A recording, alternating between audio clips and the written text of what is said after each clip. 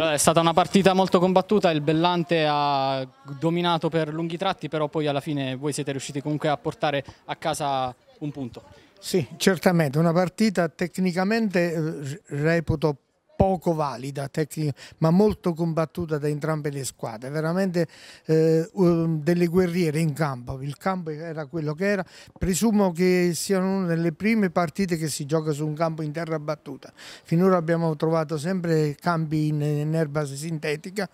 comunque è una partita dura ma corretta, le ragazze sono state all'altezza della situazione, eh, noi avevamo timore di questa trasferta oltre per il rispetto dell'avversario ma soprattutto per la... avevamo una rosa esigua, oltretutto mancava il nostro allenatore, il vice allenatore per motivi familiari, per cui stavamo in apprensione sotto questo punto di vista.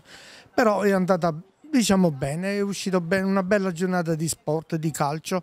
Eh, siamo contenti del risultato che teme, si temeva, la, sia per il rispetto della squadra avversaria che per l'esiguità della rosa.